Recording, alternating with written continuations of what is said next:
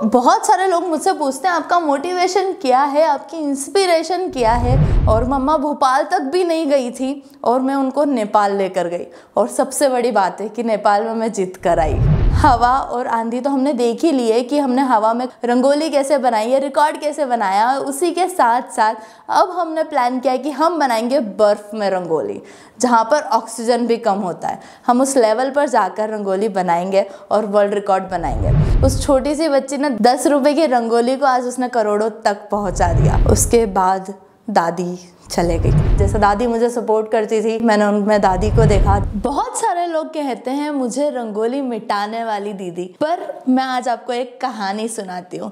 कैसे एक छोटी सी लड़की ने रंगोली मिटाते मिटाते औरों को सिखाते सिखाते अपनी ज़िंदगी संवार ली। हेलो एवरीवन मैं हूँ शिखा शर्मा। मुझे इंटरनेशनल आर्टिस्ट भी कहते हैं और साथ में मैं स्वच्छ इंदौर की ब्रांड एम्बेसडर भी हूँ। और रंगोली क्वीन के नाम से भी मुझे जाना जाता है क्योंकि बहुत सारी रंगोलियों को बनाकर मिटाया है अभी तक मैंने और बहुत सारे वर्ल्ड रिकॉर्ड भी बनाए हैं। सो so, कहानी स्टार्ट होती है उस छोटी सी लड़की से। उसकी आँखों में बहुत सारे सपने थे। कभी उसे डॉक्टर बनना था कभी इंजीनियर बनना था। तो ऐसे करते करते उसने डॉक्टर की बहुत सारी एग्ज़ाम्स दी। एक एग्ज़ाम उसकी क्लियर भी हो गई और कॉलेज मिला इंदौर के बाहर। बट वो अपनी दादी को बहुत ज़्यादा चाहती थी मतलब दादी उसके लिए बैकबोन थी। सो so, वो उसकी फैमिली को छोड़कर जाना नहीं चाहती थी। और एक दिन ऐसा हुआ डेट शायद 25 दिसंबर 2014 उसने पेपर्स में कुछ पोर्ट्रेट देखे। और पोर्ट्रेट देखने के बाद लगा कि ये खुद के पोर्ट्रेट कैसे बना दिए सभी ने? मतलब क्या आईने में देखकर बनाया है या खुद की फ़ोटो क्लिक करके बनाया है? तो थोड़ा सा डिफ़िकल्ट हो गया था कि कैसे उसने ये बच्चों ने जो है पोर्ट्रेट जो पेपर में आए हैं, वो कैसे बनाए हैं? क्या मैं भी अपना पोर्ट्रेट बना सकती हूँ? उसने बहुत सोचा। बहुत सोचने के बाद उसने अपना खुद का पोर्ट्रेट बनाना स्टार्ट किया। और पोर्ट्रेट स्टार्ट करने के बाद एक कार्टून फेस बन गया। और कार्टून इतना गंदा था कि फेस बिल्कुल मैच नहीं हो रहा था। तो उसने क्या किया? कलर्स लिए और उसके ऊपर कलरिंग करना स्टार्ट कर दिया कि शायद मेरे जो कपड़ों का कलर है, उसको देखकर तो शायद पहचान में आ जाएगा कि वो मेरा ही पोर्ट्रेट है। ऐसा करते करते वो कलर पोर्ट्रेट भी कंप्लीट हो गया। बट कलर पोर्ट्रेट भी मैच नहीं कर रहा था, वो भी और थोड़ा सा ख़राब बन गया था। फिर उसने क्या किया? उसने अपने पोर्ट्रेट पे अपना नाम लिख दिया। ताकि अगर कोई देखे तो उसे समझ आ जाए कि वो उसी का पोर्ट्रेट है। पर उसने वहाँ पर भी हार नहीं मानी। उसने अपने सारे कजिन्स के पोर्ट्रेट बनाकर अपनी वॉल पर लगा दिए और घर पे जितने भी लोग आते थे गेस्ट आते थे, वो पोर्ट्रेट देखकर बोलते थे कि वाह क्या बनाया है, आप हमारे बच्चों को भी सिखाइए। और ऐसा करते करते वहाँ उनके पास स्टूडेंट्स आने लगे और उन्होंने सिखाना स्टार्ट किया। सो एक छोटी सी लड़की जिसे कुछ भी नहीं पता था आर्ट के बारे में, उसने एक न्यूज़पेपर में किसी का पोर्ट्रेट देखकर इंस्पिरेशन ली और वहाँ से बनाना चालू किया और बनाते बनाते सिखाना चालू किया। सो so वो जो छोटी सी लड़की के बारे में मैंने आपको बताया, जिसने कार्टून वाले पोर्ट्रेट बनाए थे, वो भी खुद के, वो मैं ही हूँ। हाँ जी, मैं पहले ऐसा ही बनाती थी। आपको लगता है ना कि आप ऐसा बनाते हो, आप शिखा दीदी जैसे नहीं बन पाओगे या उतना आगे नहीं पहुँच पाओगे, ऐसा नहीं है। मैं आपको बताती हूँ अपनी जर्नी के बारे में, मैंने कैसे स्टार्ट किया। मुझे कुछ भी नहीं आता था, मुझे आइस बनाते तक भी नहीं आती थी। मेरे पास बच्चे आने लगे थे, सीखने आने लगे थे। मुझे समझ नहीं आता था कि मैं उन्हें कैसे सिखाऊं। फिर मैं बहुत ज़्यादा प्रैक्टिस करती थी, आइस बनाने की प्रैक्टिस करती थी। और जब आपके पास छोटे बच्चे आते हैं ना तब आपका निकलता है टैलेंट कि आप उनको कैसे सिखाएँगे इजी वे में। और जब आप इजी वे में सिखाना चालू करते हैं तो आपके पास बहुत सारे टिप्स एंड ट्रिक्स आ जाते हैं कि आप कैसे उन्हें बताएँगे। तो वहाँ से मेरी जर्नी स्टार्ट हुई, फिर मैंने कॉलेज में एडमिशन लिया। मैंने सोचा कि नहीं, मुझे बीए ही करना है, और सारे जितने कॉलेज के एडमिशन थे, वो हो चुके थे बंद। मतलब हर जगह मैं चले गई दादी के साथ। दादी मेरा बहुत बड़ा सपोर्ट सिस्टम है मतलब बिग बोन बोले तो वो भी कम होगा उनके लिए। वो ऑटो में मेरे साथ पूरे सारे कॉलेजेस के चक्कर काटते काटते आई। फिर हमें पता चला कि जो न्यू जीडीसी कॉलेज है इंदौर में, उसके उसके एडमिशन अभी ओपन है और वो भी पाँच बजे तक बंद हो जाएँगे और सेम डे पर। और तीन बजे तक हम उस कॉलेज में पहुँचे और वहाँ जाकर पता चला कि हमें डॉक्यूमेंट लेकर आना है और ऑनलाइन हमको रजिस्ट्रेशन करवाना है। मतलब जो भी सारी एडमिशन की प्रोसेस होती है, वो करवाना है। और बारिश बहुत ज़्यादा हो रही थी। बट दादी ने मेरा साथ नहीं छोड़ा। दादी ने पाँच नहीं बजने दी। उसके पहले घर से डॉक्यूमेंट लेकर आए और एडमिशन हुआ। एडमिशन होने के बाद मुझे समझ नहीं आ रहा था कि बी में क्या करना है। बी में मेरे तीन सब्जेक्ट थे। एक तो हिस्ट्री था ड्राइंग पेंटिंग था और एक था सितार। मतलब मैं सितार भी बजाती थी। थोड़ा सा एक आर्टिस्ट होते हैं ना तो आर्टिस्ट को म्यूज़िक से बहुत ज़्यादा प्यार होता है। तो सितार के साथ साथ ड्राइंग पेंटिंग करना स्टार्ट किया और यहाँ से स्टार्ट होता है कंपटीशन सो so, कॉलेज में कंपटीशन स्टार्ट हुए और कुमकुम मैम जो मेरी गुरु जिन्हें मैं मानती हूँ तो उन्होंने बताया कि अब आपको यहाँ पर कंपटीशन में पार्ट लेना है और देखते हैं कि कौन सा स्टूडेंट बहुत अच्छा करता है। सो so, नॉर्मली मुझे नहीं पता था कि वो नेशनल या इंटरनेशनल तक मुझे लेकर जाएगा कंपटीशन मैंने उसमें पार्ट लिया पार्ट लेने के बाद मैंने वहाँ पर रंगोली बनाई, क्ले मॉडल बनाया और मैं अपने घर आ गई। रिज़ल्ट का मुझे कुछ भी नहीं पता था और ऐसा होता है कि जोनल लेवल होता है मतलब स्टेट होता है, जोनल होता है और नेशनल होता है। अगर आप जो डिस्ट्रिक्ट लेवल है, उसमें अगर आप क्रॉस कर देते हैं, जो हमारा कॉम्पिटिशन हुआ था तो अगर आपका फ़र्स्ट नंबर आता है तो आप जाते हैं जोनल और अगर सेकेंड आता है तो आप जाते हैं स्टेट। और जोनल अगर आप क्रॉस कर देते हैं तो आप जाते हैं national and then international. So मुझे पूरी उम्मीद थी कि मैं हारूँगी। मुझे कुछ नहीं मिलने वाला है। मैं घर आई और मैम का फ़ोन आया कि आप आइए यूनिवर्सिटी से आपका फॉर्म सबमिट करना आपको बाहर जाना है कंपटीशन के लिए। सो so, मैं बहुत ज़्यादा एक्साइटेड हो गई थी कि मेरा स्टेट लेवल में सिलेक्शन हो गया है। फ़र्स्ट नहीं तो सेकंड तो मेरी रैंक आई ही होगी तभी मुझे बुलाया है। मैं डी गई। डीएवीवी से मैं अपना जो फॉर्म है वो लेकर आई। लेकर आकर मैंने मम्मी और दादी को बताया कि देखो ये मेरा फॉर्म है मुझे जाना है। और कुछ भी आइडिया नहीं था कि कैसे जाना है कहाँ जाना है आ, क्या कंपटीशन होगा कुछ भी आइडिया नहीं था। और फिर मैम को कॉल किया। मैम को कॉल करके बोला कि मैम मैं फॉर्म लेकर आ गई हूँ। अब इसे फ़ील कैसे करना है? तो मैम ने बोला कि ऐसे ऐसे फ़ील कर दो। मैंने जब वो फॉर्म ध्यान से पढ़ा तो मुझे पता चला कि ये फॉर्म तो जोनल लेवल का है। मतलब मुझे डायरेक्ट स्टेट में नहीं जोनल लेवल पर compete करने का चांस मिला। सो so, बहुत ज़्यादा खुश हुई मैं। पहले तो बहुत ज़्यादा शॉक्ड हुई कि गलती से शायद मैं गलत फॉर्म लेकर आ गई हूँ बट ऐसा कुछ भी नहीं था। मेरा सिलेक्शन हो गया था और सिलेक्शन के बाद मैं गई झांसी और दादी और मम्मा मुझे छोड़ने गए थे रेलवे स्टेशन पर। मतलब मुझे टीम का कोई आइडिया नहीं था सर मैम का कोई आइडिया नहीं था, कौन जाएँगे हमारे साथ, कुछ भी आइडिया नहीं था। बस मैं उठ के चल दी थी कि नहीं, इस बार तो कुछ कंपटीशन में कर कर ही आऊँगी। हारूँगी बट कुछ सीख कर ही आऊँगी। तो हम गए झांसी। झांसी पूरी टीम गई थी ड्रामा स्केट डांस की, बहुत सारे बच्चे मेरे साथ गए थे। बट वहाँ जाकर जो मैंने बनाया, वो इतना अजीब था कि मैं वहाँ से हार कर आई।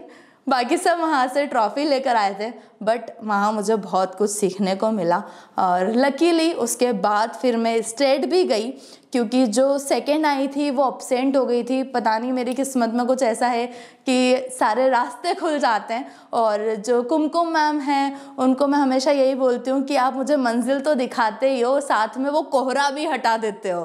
तो मुझे मंजिल तक पहुँचने में इतना टाइम नहीं लगता।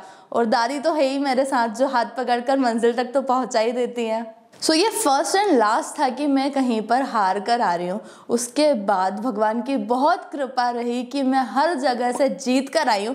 भले ही मुझे फोर्थ प्राइज़ मिला है, पर कुछ ना कुछ मैं लेकर ही आई हूँ। और फिर था कि मुझे इंटरनेशनल नाम के आगे लगाना है कि एक, ये एक इंटरनेशनल आर्टिस्ट है। तो मैंने कोई भी मौका नहीं छोड़ा। तो अगर आपकी लाइफ में भी कोई मौका आता है ना तो उस मौके पे चौका लगाना ज़रूर सीखना। क्योंकि बहुत इंपॉर्टेंट होता है मौके बहुत कम मिलते हैं और उस पर चौका लगा के आप बहुत आगे जा सकते हो। सो so, कोई भी मौका मिलता था कोई भी कॉम्पिटिशन है मैं कभी भी नहीं छोड़ती थी। सो so, यहाँ पर मुझे मौका मिला नेपाल जाने का और सबसे बड़ा ये टास्क था कि जाएगा कौन मेरे साथ? में अकेले घर से मुझे जाने नहीं देंगे क्योंकि नेपाल बहुत दूर है और ऐसी कोई टीम भी नहीं थी हमारे पास। सो so, मैंने नानी से बहुत ज़्यादा जिद की क्योंकि दादी से इतना दादी की एज बहुत थी। तो मैंने नानी को बोला कि नहीं आप मेरे साथ चलो आप मेरे साथ चलो। बट फिर नानी ने बोला कि नहीं मम्मा को लेकर जा। और मम्मा भोपाल तक भी नहीं गई थी और मैं उनको नेपाल लेकर गई। और सबसे बड़ी बात है कि नेपाल में मैं जीत कर आई सो so, बहुत गर्व की बात है। मतलब मेरे लिए तो कि मैं इंडिया के बाहर जीत कर आई हूँ। बहुत ज़्यादा प्राउड मोमेंट हो गया था वो मेरे लिए। और उसी के साथ इंटरनेशनल नाम के आगे तो लग ही गया था बट एक ही जगह जाकर इंटरनेशनल बोलना थोड़ा सा अजीब है। फिर मैं थाईलैंड गई और थाईलैंड में भी मैंने एग्जीबिशन की और वहाँ मुझे मिला एक्सेलेंस अवार्ड और उसके बाद इंदौर में हमारे यहाँ पर जो डी यूनिवर्सिटी है, वहाँ पर हुआ था इंटरनेशनल कंपटीशन और जिसमें मैंने पार्ट लिया था क्ले मॉडलिंग में और मुझे वहाँ पर भी प्राइज़ मिला। सो so, इतने सारे इंटरनेशनल कंपटीशन के बाद इंटरनेशनल नाम के आगे बहुत अच्छा लगता है। बट फिर भी बहुत कम लोग मुझे जानते थे। तो मैंने सोचा कि नहीं अब कुछ और बड़ा करना है। मतलब पूरे वर्ल्ड में नाम करना है। तो वो कैसे होगा? वो होगा वर्ल्ड रिकॉर्ड से सो वर्ल्ड रिकॉर्ड प्लान करना कोई छोटी मोटी बात तो नहीं है। उसके लिए आपको चाहिए टीम और वो भी ऐसी टीम जो मन लगाकर काम करे और दिन रात काम करे। सो so, मैंने जब सिखाना स्टार्ट किया था ना मैं आ, सो के भी नहीं उठती थी उसके पहले बच्चे आ जाते थे घर पर वो बैठे रहते थे कि शिखा दीदी उठेंगी वैसे ही हम उनसे सीखना स्टार्ट कर देंगे। सो so, जैसे ही मैं उठती थी मुझे छोटे छोटे बच्चों के बहुत प्यारे प्यारे फेस देखने को मिलते थे सुबह सुबह और मैं दादी को आवाज़ लगाती थी दादी चाय? या फिर मम्मी को और फिर चाय पीते पीते मैंने सिखाती थी। तो वहाँ से मैंने स्टार्ट किया था। उसके बाद सिखाते सिखाते आज यहाँ तक पहुँच जाऊँगी, बिल्कुल पता नहीं था। जहाँ पर मैं सिखाती थी, जो हमारी क्लासेस थी, बारिश में वहाँ पर पूरा पानी भर जाता था मतलब घर में पूरा पानी आ जाता था और बिल्कुल भी जगह नहीं होती थी। बहुत दिन तक हमको छुट्टियाँ करनी पड़ती थी बट जो मेरे स्टूडेंट्स थे, जो स्टार्टिंग से आ रहे हैं जो अभी तक आ रहे हैं उन्होंने बहुत ज़्यादा साथ दिया उन्होंने तब से सीखा और फिर उन्हीं बच्चों के साथ मैंने टीम बनाई और अपना फ़र्स्ट वर्ल्ड रिकॉर्ड कंप्लीट किया। सो so, ये जो हमारा फ़र्स्ट वर्ल्ड रिकॉर्ड था ना ये बिल्कुल आसान नहीं था। छोटे छोटे बच्चों के साथ बहुत बड़ी रंगोली बनाना तीन हज़ार स्क्वायर फीट की रंगोली बनाना बोरियों से कलर निकालना और बहुत ज़्यादा कलर को मिक्स करना थोड़ा सा नहीं बहुत ज़्यादा डिफ़िकल्ट था। क्योंकि ना आ, मैं और अमर अमर जो मेरा स्टूडेंट है छः साल से वो मेरे साथ में है तो हम पोर्ट्रेट बना लेते थे बाकी बच्चों को पोर्ट्रेट नहीं बनाते आता था। उनको सिर्फ़ नॉर्मली जब वो कलर फील करते थे तो दिवाली पर जो कलर हम रंगोली बनाते हैं वैसे ही बनाते आती थी। और इतने बड़े एरिया में रंगोली बनाना मतलब आपको छोटा बैठ कर रंगोली बना रहे हो आप थकोगे भी कम और बहुत कम टाइम में कंप्लीट हो जाएगी बट ये जो thirty three thousand square feet की रंगोली थी।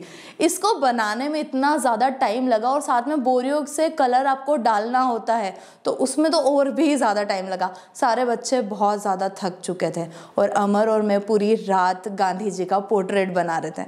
और सुबह हमारी कंडीशन ऐसी हो गई थी कि आप जहाँ पर भी हमें बिल्कुल एक लाश के जैसे हम हो गए थे, मुझे कोई भी ऐसे उठा रहा था तो मुझे कुछ भी फील नहीं आ रहा था। मुझे ऐसा लग रहा था कि अब बस बहुत ज़्यादा थक चुकी हूँ, अब कुछ भी नहीं दिख रहा था।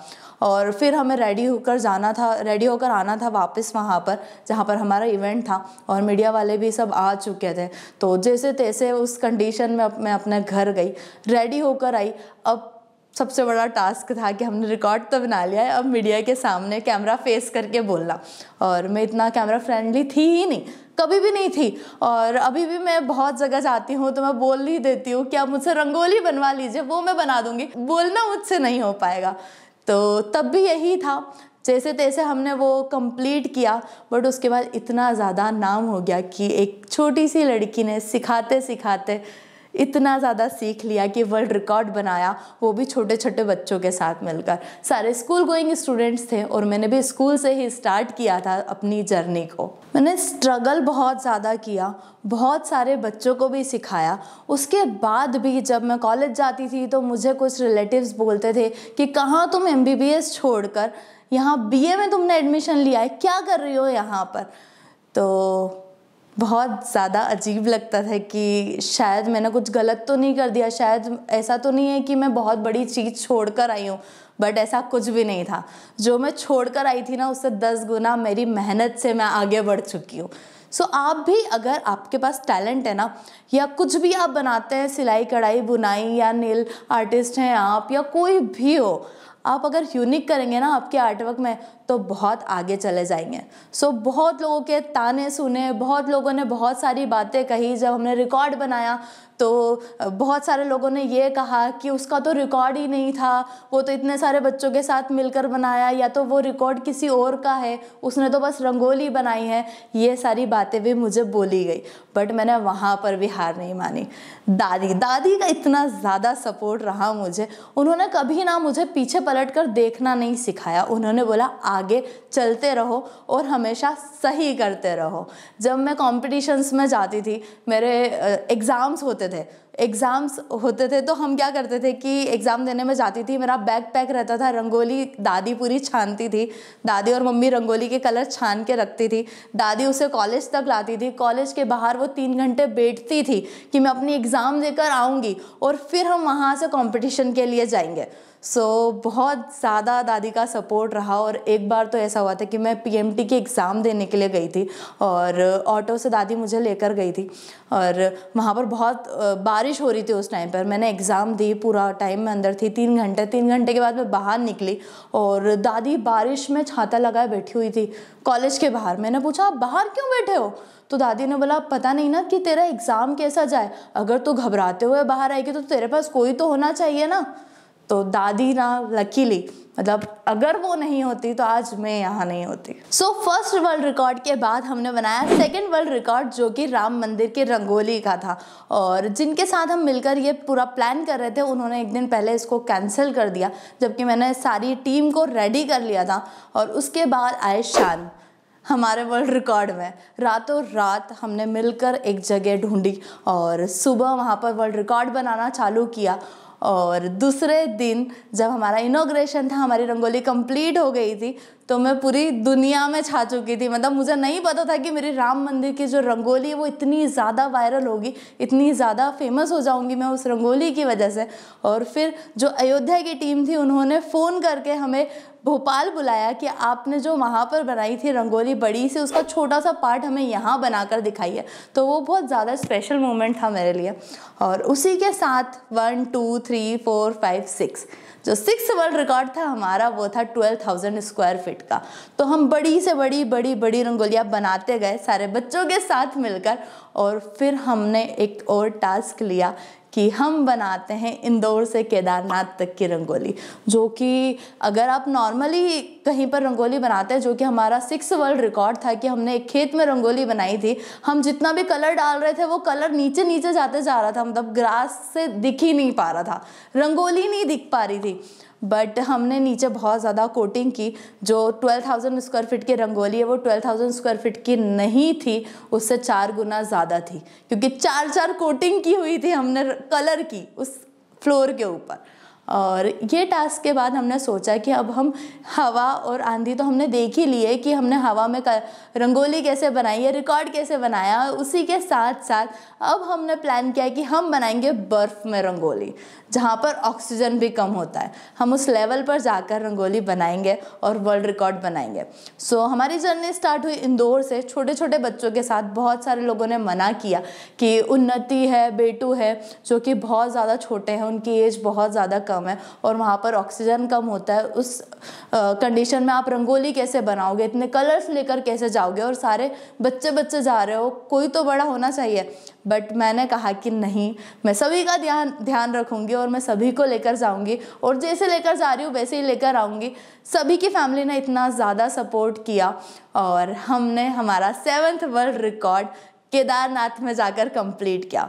वहाँ पर भी बनाना इतना आसान नहीं था। वहाँ पर बहुत ज़्यादा बारिश हो रही थी, बर्फ़ गिर रही थी। वहाँ के जो पुरोहित जी है, उन्होंने कहा कि तीन किलोमीटर ऊपर बर्फ़ गिरी है और हमें रंगोली बनानी थी नवरात्रि के पहले दिन। हम सोच कर गए थे कि हम उनके मंदिर को सजाएँगे, वो भी नवरात्रि में। और बहुत ज़्यादा डिफ़िकल्ट हो गया था जब बारिश रुकने का नाम ही नहीं ले रही थी। तो पुरोहित जी ने कहा कि अब तो यहाँ पर बर्फ़ गिरने ही वाली है, आप लोग कुछ कर लीजिए। हमने बहुत बड़ी सी वहाँ पर एक ऊपर जो लगाते हैं पॉलीथीन, वो रेडी कर ली थी कि अगर रंगोली पानी आता है तो रंगोली उसके नीचे सेफ़ रहेगी। हम सब उसको पकड़ के खड़े रहेंगे। पर रिकॉर्ड बनेगा और रंगोली हम बनाएँगे। पर केदारनाथ और महाकाल की कृपा ऐसी हुई कि वहाँ पर हमने जब रंगोली बनाई तो दो दिन तक वहाँ पर दो दिन तक बारिश का कोई नामो निशान नहीं था। वहाँ पर धूप थी। जबकि केदारनाथ में आपने सभी ने देखा होगा कि कभी भी ऐसा नहीं होता है। पाँच मिनट में बारिश हो रही है पाँच मिनट में धूप आ रही है तो कभी कभी बर्फ़ से ही पूरा ढका हुआ होता है। सो so, पुरोहित जी ने भी हमें आकर कहा कि आपने जो यहाँ पर रंगोली बनाकर वर्ल्ड रिकॉर्ड बनाया है ना तो हमने आपकी भक्ति की शक्ति यहाँ पर देखी है कि आपने जब रंगोली बनाई तो बिल्कुल बारिश नहीं हुई। तो भगवान का साथ बहुत ज़्यादा रहा है। और फिर मैं आप सभी को बताती हूँ कि कैसे आप सभी फ़ेमस हो सकते हैं और कैसे आप अपने वीडियोस को वायरल कर सकते हैं। अभी क्या होता है ना कि आपके पास टैलेंट बहुत है है ना? बट आप बनाते बहुत कम है। आप टेन डेज़ में एक कुछ स्केच बनाते हैं या टेन डेज़ में एक कुछ ड्रेस बनाते हैं अगर आप फ़ैशन डिज़ाइनर है तो। या फिर आप कोई से भी आर्टिस्ट हैं तो ऐसा ना करें। डेली आपको खुद को अपग्रेड करना है। तो इसी पॉइंट को लेकर आती हूँ मैं सोशल मीडिया पर। ठीक है? सो so, ये है हम सभी के लिए बहुत बड़ा प्लेटफॉर्म अगर आप नहीं जा पाते हैं नेशनल इंटरनेशनल कंपटीशन में या फिर आप एग्जीबिशन बाहर नहीं लगा पाते हैं तो सोशल मीडिया के थ्रू आप अपनी लाइफ चेंज कर सकते हैं. आपको डेली वीडियोस बनाने हैं डेली आप अपने टिप्स एंड ट्रिक्स नए रेडी कर सकते हैं बहुत सारी चीज़ें चेंज कर सकते हैं. मैं आपको बताती हूँ कि मैंने कैसे स्टार्ट किया. मैंने अपनी जो रंगोली है, रंगोली बनाना स्टार्ट किया, रंगोली के वीडियोस बनाना स्टार्ट किए और मैं गई थी उसके बाद एक शादी में रंगोली बनाने के लिए और वहाँ पर मुझे ऑर्डर मिला था कपल की रंगोली बनानी थी और फिर उसके बाद क्या हुआ कि हमने रंगोली ली और उसको हॉल में रख दिया कि शाम को उसको हम प्रेजेंट करेंगे रिसेप्शन के टाइम पर। और मैं अपने घर आ गई थी। घर आने के बाद मुझे फ़ोन आता है कि आप आ जाइए, रंगोली ख़राब हो चुकी है। फिर मैंने पूछा कि रंगोली कैसे ख़राब हुई? मतलब किसने की? सभी को पता है कि वहाँ पर रंगोली रखी हुई है। तो फिर वहाँ से उन्होंने बताया कि हमने कैमरे में देखा है कि दो लोग थे जो सफ़ाई वहाँ पर कर रहे थे। उनको लगा कि वो पोस्टर है, उन्होंने उठाया और रंगोली ख़राब हो गई। बट उसका तो अब कुछ नहीं कर सकते थे क्योंकि इवनिंग हो गई थी और मैं रंगोली अब नहीं बना पाती। बट वहाँ से मुझे एक बहुत अच्छा आइडिया आया। जब तक मिटेगा नहीं जब तक पता नहीं चलेगा कि वो रंगोली है है ना? सो so, मैंने मिटाना स्टार्ट किया। मैं पोर्ट्रेट रंगोली बनाती थी मैंने उसको मिटा के उसके रिवर्स वीडियो बनाना स्टार्ट किया। वहाँ से मेरे टिकटॉक के जो फॉलोवर्स है वो बढ़ते गए बढ़ते गए बढ़ते गए। और एक टाइम आया कि वन मिलियन कंप्लीट कर लिए थे, बहुत ज़्यादा खुश थी मैं। और उसके बाद दो दिन में two point three million complete हुए।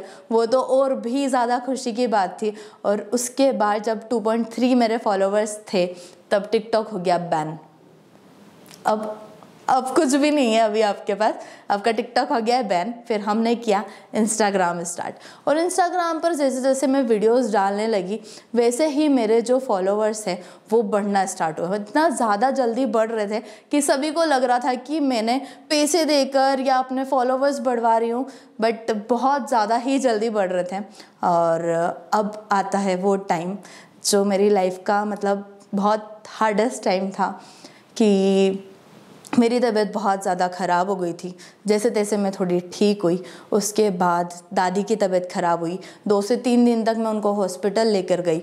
और फिर वहाँ से एक रात, तीन दिन के बाद उनका जो, उनको सांस लेने में बहुत ज़्यादा प्रॉब्लम आने लगी। हमने उनका ऑक्सीजन चेक किया। ऑक्सीजन उनका कम से कम हो रहा था। और मेरे यहाँ पर फॉलोवर्स बढ़ते जा रहे थे।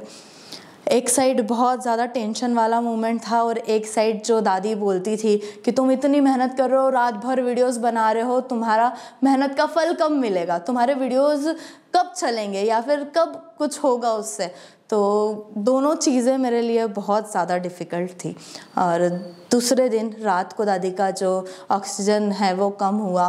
दूसरे दिन हम उनको सुबह हॉस्पिटल लेकर गए। वो मोमेंट ऐसा था कि पापा गाड़ी चला रहे थे, कार चला रहे थे। मैं पीछे बैठी हुई थी, दादी पीछे लेटी थी।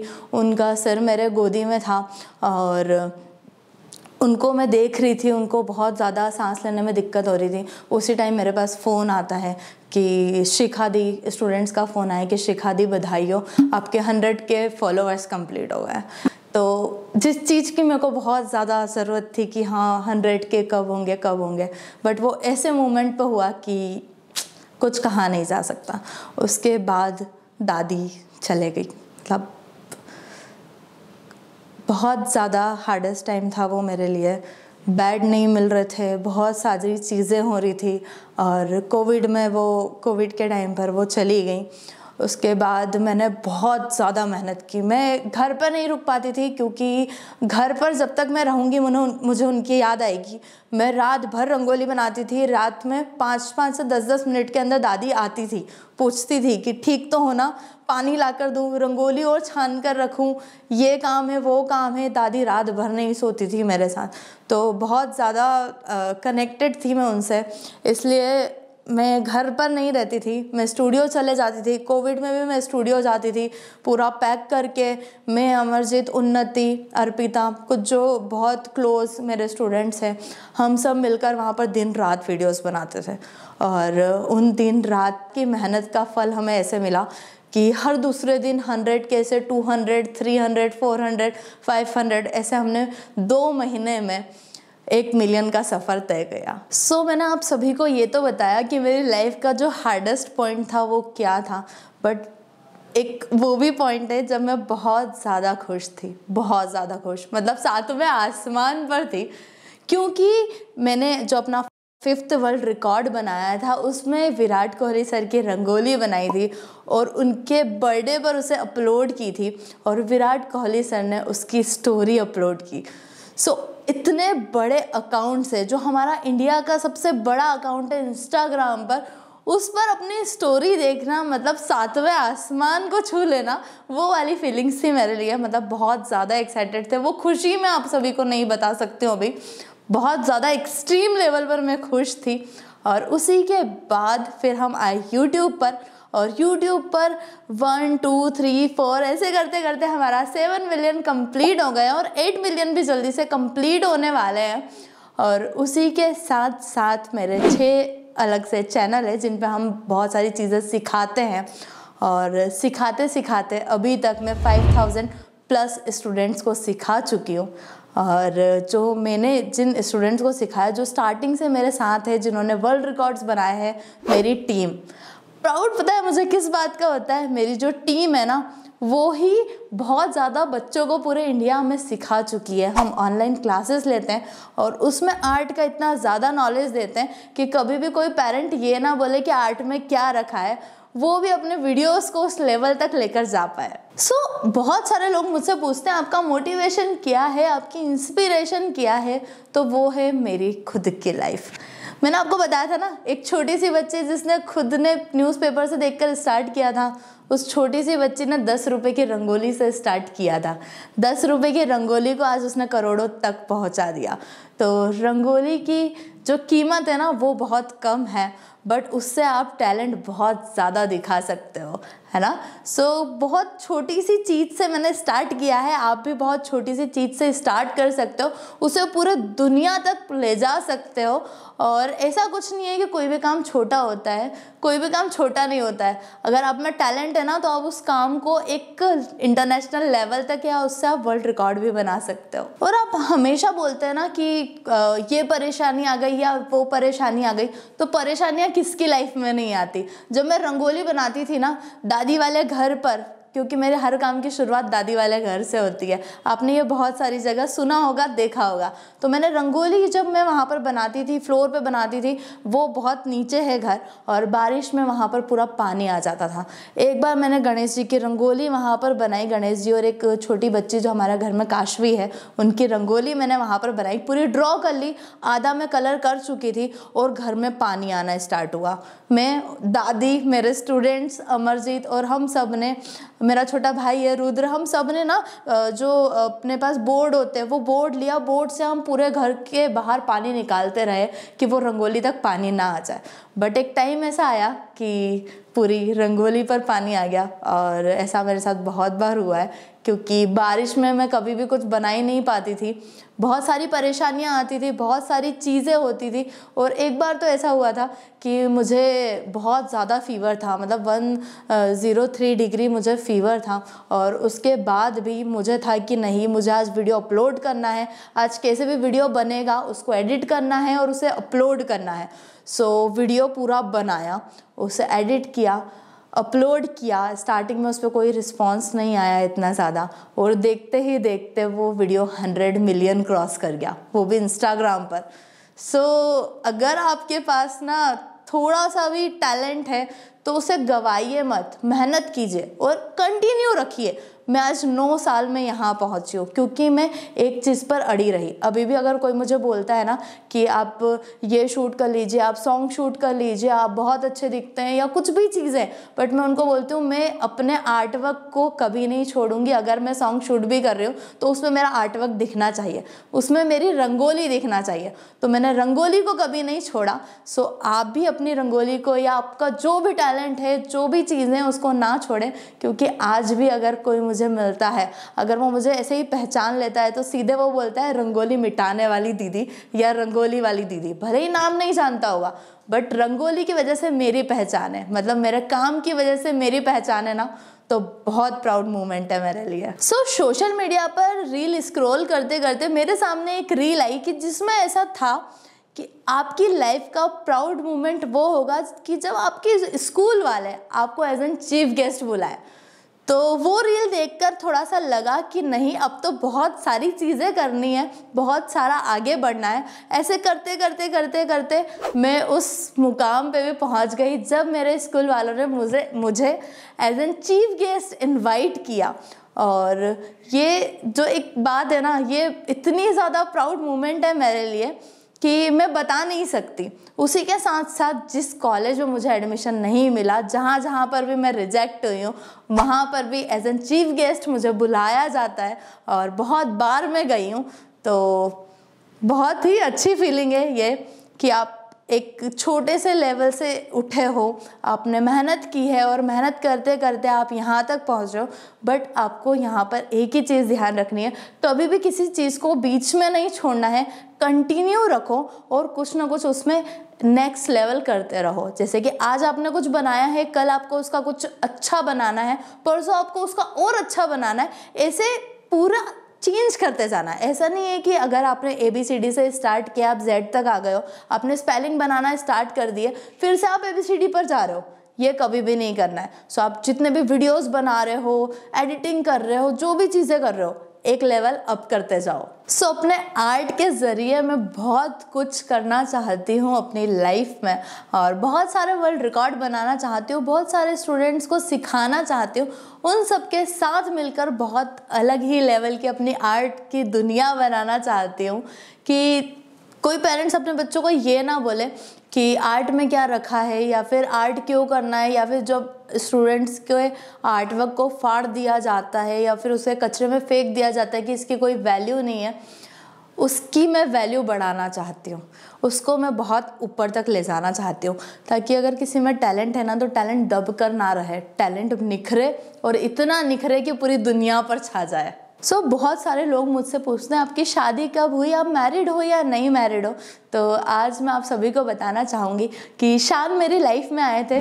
बहुत पहले वो आए थे। ऐसा नहीं है कि मेरा नेम फेम देखकर वो मेरी लाइफ में आए। जब मेरे 5000 इंस्टाग्राम पे फॉलोवर्स थे और वन से 2000 मेरे सब्सक्राइबर्स थे यूट्यूब पर तब वो मेरी लाइफ में आए। उन्होंने तब से मुझे बहुत ज़्यादा सपोर्ट किया। हर वीडियो सबसे पहले मैं अपलोड करती थी, शान को फ़ोन करती थी, वो ऑफ़िस में होते थे। मैं उनको बोलती थी, जल्दी से सबसे पहले आप ही वीडियो देखो, आप ही स्टोरी पे अपलोड करो और आपका ही कमेंट मुझे चाहिए। तो ये मेरा डेली होता था। तो वहाँ से उनका बहुत ज़्यादा सपोर्ट मिला। सारे वर्ल्ड रिकॉर्ड में उनका सपोर्ट मिला और फिर शादी का टाइम आया। और दादी का बहुत ज़्यादा था। दादी को ऐसा था कि इसकी शादी हो जाए, इसको मैंने बचपन से अपने पास रखा है, इसकी शादी हो जाए सेकेंड डे ही अगर मैं चले जाती हूँ इस दुनिया से तो मुझे कोई फ़र्क नहीं पड़ेगा। बट इसकी शादी करके मुझे जाना है। बट ऐसा नहीं हुआ। दादी बहुत पहले चली गई। और शादी का टाइम आया, तब मैं बहुत ज़्यादा डरी हुई थी क्योंकि दादी नहीं थी मेरे पास। मैं अपनी कुमकुम मैम जो है, गुरु जो है, उनसे पूछती थी कि मैम, शादी के बाद मैं कंटिन्यू कर पाऊँगी या नहीं कर पाऊँगी? ऐसा तो नहीं है कि जिम्मेदारियाँ बहुत ज़्यादा आ जाएगी। या मैं घर में ही फंसी हुई रह जाऊँगी, मैं कुछ नहीं कर पाऊँगी। मैंने इतनी सारी चीज़ें कर ली है। अब ऐसा तो नहीं होगा ना कि मैं थोड़ा पीछे चले जाऊँ मतलब आगे जाने की जगह मैं पीछे चले जाऊँ। तो मैम ने समझाया, ऐसा कुछ भी नहीं है, थोड़ा टाइम लगेगा। चीज़ों को थोड़ा टाइम लगेगा तुम्हें समझना पड़ेगा उन्हें समझना पड़ेगा। साथ मिलकर चलोगे तो आगे तक बहुत अच्छे से पहुँच पाओगे। सो so, शादी का टाइम आया। शादी हुई दादी को हमने बहुत ज़्यादा मिस किया बट जितने भी स्टूडेंट हैं मतलब दिल से धन्यवाद कहना चाहूँगी मैं अपने सारे बच्चों को जितने भी मेरे स्टूडेंट्स हैं सब एज एन फैमिली रहे मुझे दादी के खत सुनाते रहे दादी की चीज़ें रिमाइंड करवाते रहे और बहुत सपोर्ट किया। शादी हुई। शादी के बाद वाली जो लाइफ थी, तब मुझे लगा कि अब क्या? बट जो मेरी सासू माँ है, उनमें मैंने दादी को देखा। लिटरली मैंने उनमें दादी को देखा। जैसे दादी मुझे सपोर्ट करती थी, वो मुझे हर टाइम सपोर्ट करती है। वो बहुत ज़्यादा मोटिवेट करती हैं, जो पापा जी हैं, ससुर जी हैं मेरे, वो भी हर चीज़ें बताते हैं। अगर मुझे कुछ कैप्शंस में दिक्कत आती है या कुछ भी चीज़ में दिक्कत आती है, वो हमेशा आगे रहते हैं, सारी चीज़ें करवाते हैं। वर्ल्ड रिकॉर्ड में उन्होंने बहुत ज़्यादा साथ दिया। तो कभी मुझे ये वाला फील नहीं आया कि मैं पीछे जा रही हूँ। शादी के बाद तो मैंने और ज़्यादा आर्ट वर्क करना स्टार्ट कर दिया, और ज़्यादा चीज़ें चेंज हो गई है। अब जब मैं वो अकेली या दादी के साथ करती थी, अब यहाँ पर मेरे पीछे बहुत सारे लोग आ गए हैं। पूरी फैमिली आ गई है। तो बहुत ज़्यादा अच्छा लगता है। पापा का बहुत ज़्यादा सपोर्ट मिलता है हर चीज़ में। तो थैंक यू ऑल